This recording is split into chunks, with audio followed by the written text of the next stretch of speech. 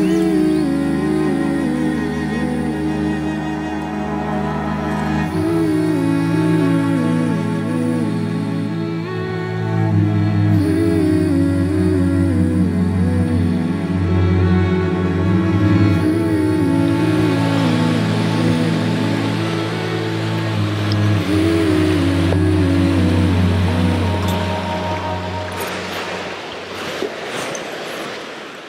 Hello, hello everybody. Hope you're all doing really well. It's, uh, it's a pretty miserable day today, and actually I really like it because uh, often this time of year it's quite warm and, and sunny. Now, the area that I'm in uh, today is called Nile Creek, and uh, it's up island a little bit. Again, it's not too, too far from the main highway. It's quite a popular area to hike to or hike up. And uh, Nile Creek is, uh, is a, more or less a canyon. And this is one of the first waterfalls in the canyon. And then as you go up the hill here, there's quite a few cascades going down into deep gorges. Now I was here the other day with my partner Karen and I, I did take a few images of this waterfall here, but I didn't do any vlogging.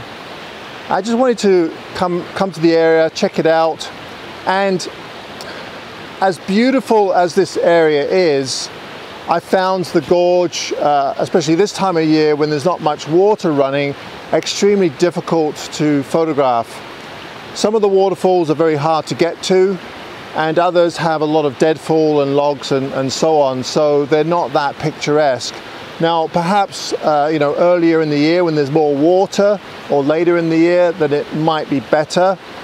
But when I came here with Karen the other day, this was probably the nicest section that I could find or, or that I could, you know, uh, get compositions of.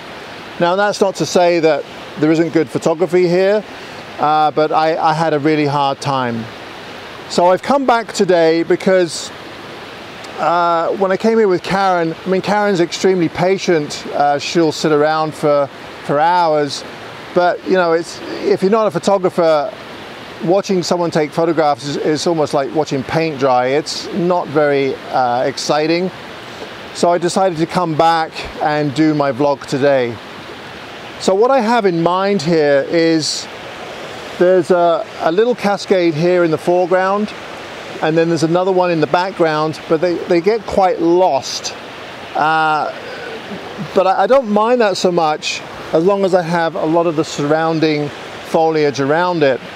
But I'd also like to try and take some images with longer focal lengths if I can back up far enough so that I can kind of pull that, that rear uh, waterfall forward a little bit, kind of compress the scene. So that's the goal today. Uh, the, the foliage and the trees around the waterfall and the pool itself is absolutely gorgeous. The woods around this area uh, have been heavily logged.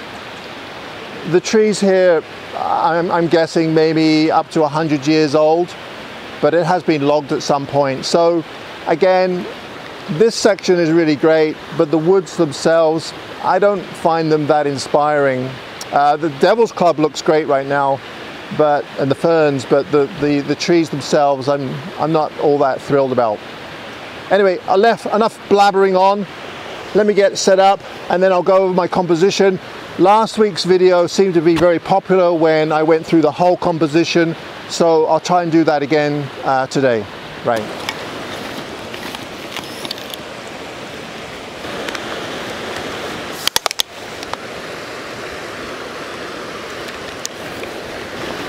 Okay, uh, thanks to Nick Page I have a new gadget, but of course it's more stuff to carry. But uh, I would probably use this out of my van, but today I thought I'd bring it with me, and that is an umbrella. Uh, but the nice thing about this umbrella is that it actually has a clamp on it, and uh, it's quite maneuverable. So uh, it looks like a, a pretty good design as you can see, it's kind of large on one side and, and narrow on the other side. I don't know how well it would work with a, a, really wide angle lens, but a day like today when I'm using telephoto lens probably work perfectly. Uh, if it was really windy, then I probably wouldn't use it either.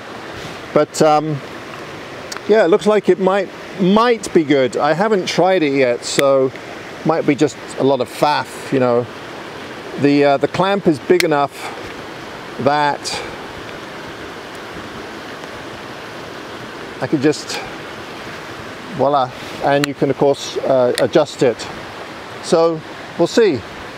Uh, you can adjust it this way as well. I don't know, might work really well.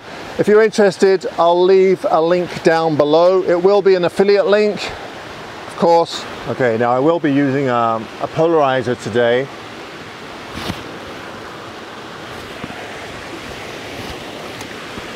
Because there is quite a bit of uh, glare on the, uh, on the rocks and so on. It's quite dark today, so nothing special about the polarizer. I won't be using an ND polarizer. Uh, this is just a normal uh, circular polarizer. And I do have a, a step up ring on this for this lens. And there we go, we're all set up. I just have to go in the creek now and uh, see what I can find. All right, so I'm all set up. And uh, the hard part about this waterfall is that if you get too low, then you cut off the bottom of the, the rear waterfall but if you go too high, then you cut off the top because there's an evergreen that's kind of drooping over and especially with the rain today, it's drooping down a little bit more than it was last time I was here. So there seems to be that, that fine line where you can just get the base of it and the top. I think what I'm going to do is do a pano like I talked about before. And the reason why I'm doing a pano is because I really love the foliage that surrounds this pool. So the waterfall in some respects becomes secondary to the image. I mean, it is a focal point, but becomes very small in the frame. I'll also take some where I zoom in a little bit closer to, but I think the wider view is my preference. I quite like the boulder over on the, uh, on the right side there. And then on the left side, we have this, uh, this log that's kind of going over diagonally. So, I don't know, it has a nice feel to it. The only problem that I am having is depth of field. The, uh, there's a, a maple here that has leaves kind of drooped in the foreground. So I might have to do a little bit of focus stacking if I want to include those leaves. Otherwise I'll just stop down to around F16. All right, I'm all set up here. I've leveled off my camera and I'm ready to take my pano. My base exposure is one second at f16 at ISO 320. Now, as far as focus goes, for this shot, I've just focused right on the waterfall itself. And this time I'm using manual focus. So as you can see, looking pretty good. Now, as far as the foliage up here, that will be out of focus and we'll have to take a separate shot for that. I am using a polarizer and you can see that it's just below the, uh, the average because I don't want to overexpose the, uh, the waterfall. Uh, this time I'm using manual exposure rather than aperture priority and the reason being is that I want the exposures to be the same right across the board as I do my pano. So there's no discrepancies in, uh, in the exposure. So I have it on a two second timer. And we'll just have a quick look at that. You can see by the histogram that everything is fine. We'll just zoom in. And the waterfall looks nice and sharp. The shutter speed is fine for that waterfall. It's quite small in the frame. Now if I zoom in on the leaves up in, up in the corner here, you can see that they are out of focus. So I will take some shots for those. And actually these leaves are quite sharp too, which is great. There's absolutely no wind today, which is really great for me because at one second with the leaves moving, then it would be quite blurry. All right, so we've got our base exposure. So why don't we do our whole pano? So what I'm going to do is just start way over here. And we'll just take our shot. And you'll notice the exposure is exactly the same as it was with the first one.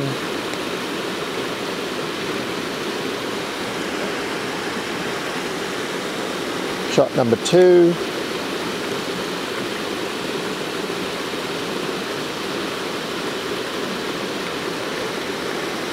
Shot number three.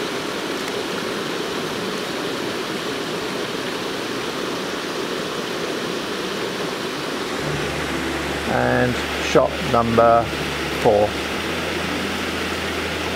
And there we go.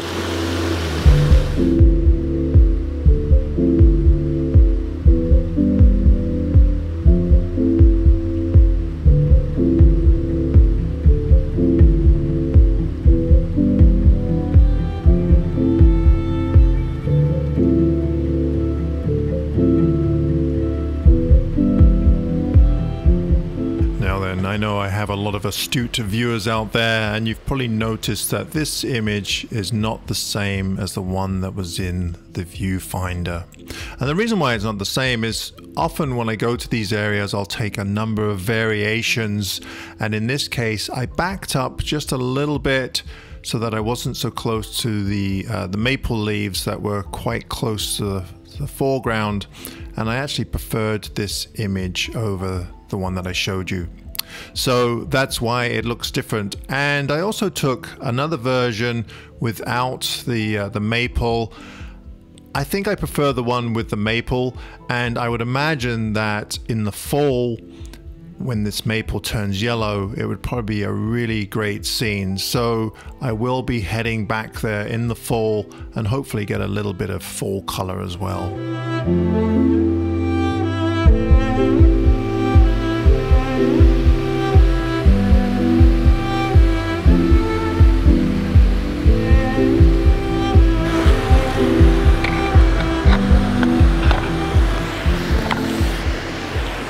Okay, so I've decided to back up a little bit uh, with the intention of using uh, the 1 to 200 and, and, try and compress the scene a little bit.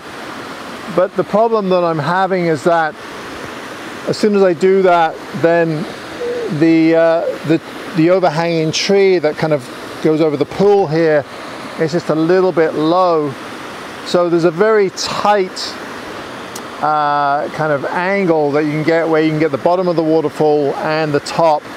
But even then, it, it almost looks like there should be more room at the top of the, the rear waterfall because those limbs are just too far down.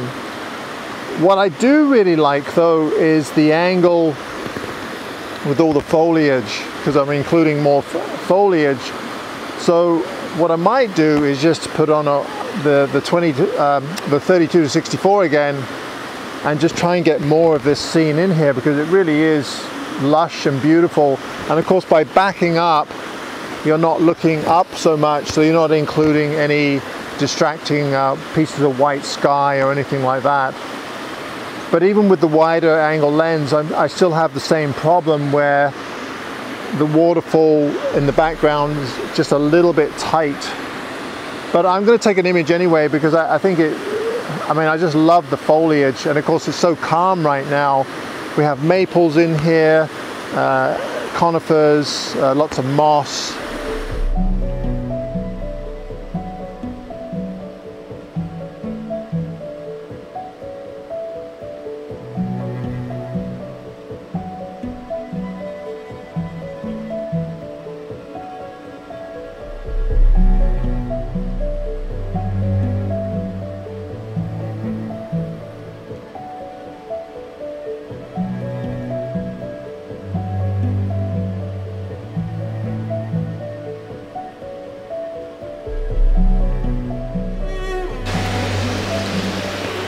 Right, I've been here for quite some time now and uh, I think I found another composition other than just shooting straight on at the waterfall.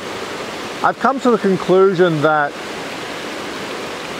as beautiful as this is, you, it's hard to get away from shooting straight on at it. You can't really get to the side of it or get a different angle. You're, you're pretty limited but what I found is by going over to the side here, now I am cutting off a little bit of the top waterfall, but I still have two tiers coming down, which is really quite nice. But uh, what I've discovered is that I can get some of these uh, maple leaves in the foreground except at the top. And there's a little bit of light or ambient light kind of backlighting them, so they stand out quite nicely. And also there's a little shrub here with some little red berries in it. Uh, this shrub here actually. Uh, I'm not sure if they'll show up in the final image, but uh, they are very pretty. Um, the composition is quite nice. We have these sweeping uh, mossy limbs in the in the foreground or, or above the falls, and then the maple leaves. Now I am having to again focus stack because I'm so close to these maple leaves in the foreground. But I don't think it's going to be a big problem because there's no wind whatsoever. So I'm just taking one shot focused on the waterfall and then another shot focused on the leaves and then I'll just combine those together in, uh, in Photoshop. It should be quite easy.